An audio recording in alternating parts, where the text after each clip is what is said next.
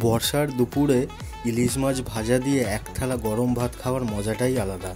তার সাথে যদি থাকে ইলিশ মাছের তেল মুড়ো দিয়ে বানানো কচু শাকের ঘন্ট, যেটা আমার খুব প্রিয়, আর গরম ভাতে যদি নিয়ে নেওয়া যায় একটু গরম ইলিশ মাছের তেল, তাহলে জাস্ট ব্যাপারটা জমে ক্ষীর হয়ে যায়।